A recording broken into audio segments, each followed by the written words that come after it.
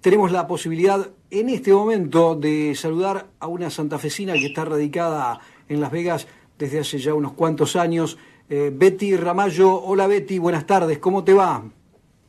Hola Hugo, ¿cómo te va acá en Las Vegas? Bien, me va bien. ¿Me escuchás bien? Te escucho perfectamente bien. Eh, simplemente queríamos eh, preguntarte, bueno, ¿cómo, cómo están las cosas allí. Seguramente que eh, todo ya estará normalizado. Los casinos, los casinos en Las Vegas no, no deben haber parado nunca. Eh, bueno, no pararon nunca, pero anoche estuvo clausurado el strip durante 12 horas. Vamos a explicarle a la gente qué es el strip, porque... el strip es la calle principal de Las Vegas donde se encuentran los casinos más nuevos. Perfecto es una calle de, digamos, unos 800 metros, 900 metros más o menos, donde es el, es el, centro, de, es el centro de Las Vegas. Exactamente. Eh, los casinos eh, Station, si vos te acordás, toda la cadena de casinos Station de acá eh, tuvo las habitaciones gratis para todos los familiares de las víctimas que empezaron a viajar desde ayer de distintos lugares del país. Porque si bien muchos muchos eran de Las Vegas, eh, muchos venían porque es la música country, venían de Texas, de Colorado, bueno, de, un montón de lugares, entonces los familiares eh, tuvieron la posibilidad de instalarse en los hoteles eh, gratuitamente. Claro. sí, sí, ¿Cómo se está viviendo? Se está viviendo una situación muy, muy muy triste porque vos conocés Las Vegas y sabés que es una ciudad tranquila, donde tenemos la policía más entrenada del país, eh, a donde hay eventos miles por mes y jamás ha pasado nada. Eh, pero bueno, siempre se le pela el cable a alguno y, y salió este loco a hacer una masacre, porque fue una masacre. Sí, sí, esto es eh, muy, muy difícil de entender, más allá que, bueno, ahora eh, se habla de, del padre, de lo que fue el padre del tipo, etcétera, etcétera, pero acá eh, lo que hay es 59 muertos, centenares de heridos por esta, por esta locura, ¿no? Sí, pero fíjate, Hugo, que, por ejemplo, el tema del padre acá ayer fue furor, pero ya hoy pasó a segundo plano porque crece la versión, porque te explico una cosa, eh, los, los cadáveres quedaron en el lugar hasta 12 horas después del tiroteo. Tuvieron que quedar ahí porque entró el FBI y el SWAT a hacer las investigaciones. ¿Entendés? Entonces, los, los cadáveres, perdóname la, crudeza con la que hablo, los cadáveres con rigor mortis y, con, con destruidos y qué sé yo, tuvieron que quedarse así en la misma posición, donde hoy se está hablando de que según la posición de las balas y de los cadáveres, las balas también venían de otros lugares, de otros lados. O sea que se está hablando de que parece que el tipo no estaba solo, como se habló en un primer momento. En un primer momento se habló de tres personas tirando. Ah. ¿Entendés?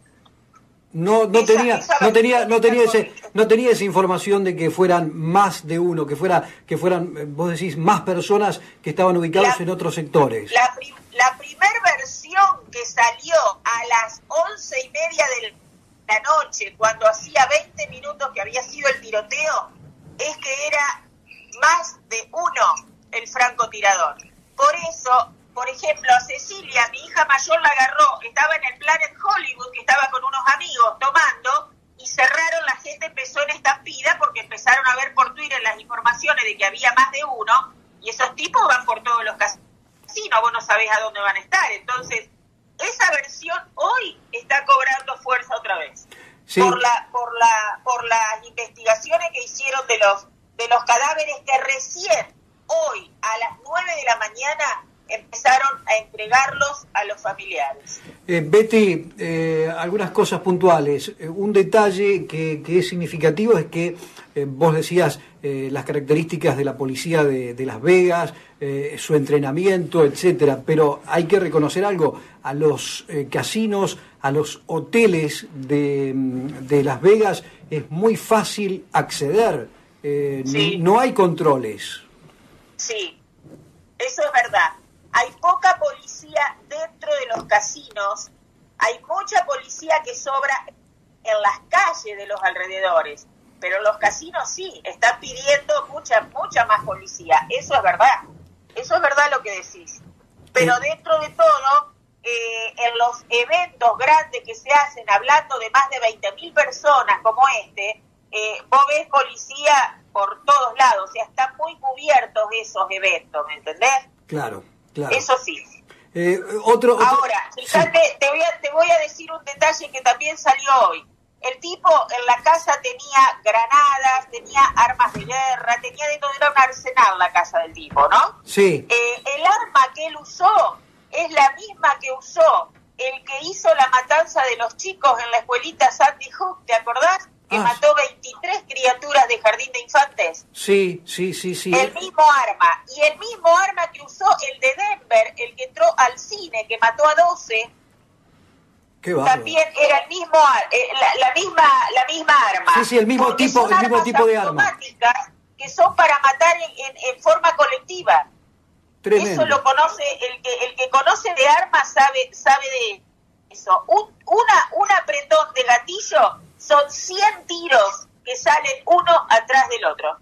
Imagínate. Tremendo, tremendo. Eh, un detalle más. eh, el tema de vos, ahí en Las Vegas, eh, podés ir a cualquier eh, lugar a donde venden armas y comprar armas la cantidad que quieras. Sí.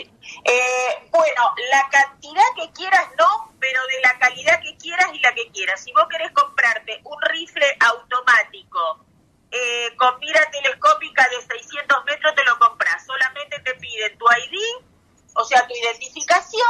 Sí. Eh, te hacen un background check que te lo hacen en el momento, en 20 minutos que esperás ya te lo tienen listo. Y si vos estás limpio, que no tenés récord cri- criminal, ahí nomás tenés el regalito. El arma es tuya. Eso es por lo que tanto peleó Obama, por lo que tanto peleó Obama, pero le salió la famosa asociación del rifle, que está eh, con Trump, con Donald Trump, y no pudo, no pudo hacer nada, porque ya fue casi cuando él se iba, que él quiso hacer este, este proyecto de ley, y no hubo caso. Pero acá, hasta que no se restrinja la venta de armas, esto va a seguir pasando. Esto va a seguir pasando. Y esto, te lo digo, Hugo, esto es un acto de terrorismo. No importa si el tipo hace un mes que está en el Islam o no está en el Islam. ¿Entendés? Sí. Es un, un acto de terrorismo porque el tipo usó la violencia ejecutada para infundir terror a la gente. Es un acto de terrorismo. Si hubiera sido un hispano el que dispara, hubiera sido un acto de terrorismo. Pero este es blanquito y de ojos celestes, entonces tenemos un poco más de cuidado en decir las cosas. Es así. Es Es, así. es así, es así. No sé cómo, cómo estarán las, eh, los centenares de, de heridos, si serán heridos graves. Eh, ¿Se ha comentado algo de eso eh, después del de tiroteo? los, de- sí, de los 527 heridos que ingresaron, muchos fueron por un, una, una, una bala que rozó y otros están, por ejemplo, en el hospital Sunrise, que es el hospital pediátrico de acá, se hicieron esa noche 34 cirugías de cabeza. 34 Oh, hay 14 personas en estado crítico, muy crítico. Las demás están fuera de peligro, pero van porque depende del caso. claro, claro, claro. Eh, mm, terrible, terrible. Ha sido No, no, no. muy clara. ¿eh? Una, una, eh, eh, es una locura, es una locura, lo que, lo que ha pasado es una locura. De, de verdad, la verdad, no hay que tampoco entrar en el pánico y en el miedo, porque si no, no vamos a salir ni a la calle, pero, pero van a tener que, que tener un poco más de cuidado con el tema de la venta de armas. Es lo único que puede solucionar esto un poco, porque de todas maneras el mundo está loco, no es Las Vegas, el mundo. En el mundo hay una violencia hoy que no se puede creer. Eh, totalmente de acuerdo, Betty. Me alegro que, bueno, tu gente, tu familia, eh, sé de, otros santafesinos que viven en Las Vegas y que son amigos con quienes hemos estado en tantas oportunidades en Las Vegas. Eh, felizmente están todos bien, eh, pero, pero por supuesto preocupados por esta situación para que, bueno, no se, no se repita, ¿no? Pero eh, Mira, mira, Hugo, este, yo es lo que hablaba ayer con mis hijas, o sea, es una situación donde esto en una semana se olvidó todo, en esta se va a seguir la, investigación policial y las pobres familias que quedaron.